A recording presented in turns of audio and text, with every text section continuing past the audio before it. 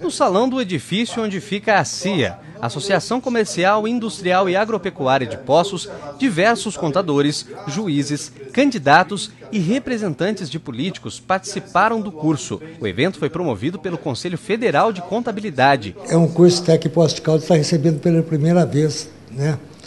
É um curso nesse sentido, junto com a parceria do Conselho Regional de Contabilidade de Minas Gerais e o Tribunal Regional.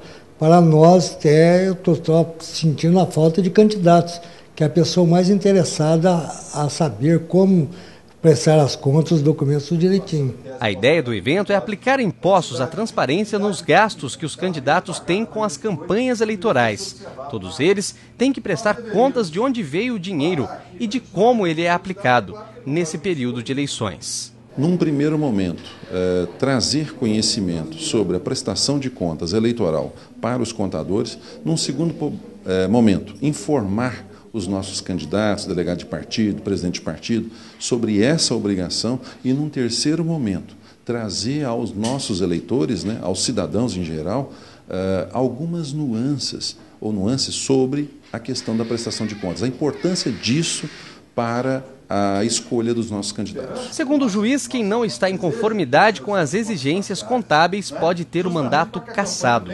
Penalidade é ele não obter a quitação eleitoral, mas tem alguns desdobramentos. Pensemos no candidato que seja eleito.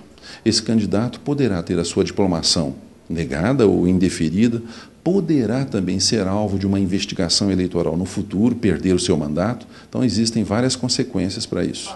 O curso, segundo o representante do Conselho Regional dos Contabilistas, vem facilitar o trabalho deles e preparar esses profissionais. O Tribunal Regional Eleitoral tem uma cartilha própria para orientar os profissionais da contabilidade, ou também os candidatos né, aos cargos do Legislativo, para que façam corretamente a prestação de contas a origem dos recursos e a origem dos recursos e as despesas da campanha eleitoral dele.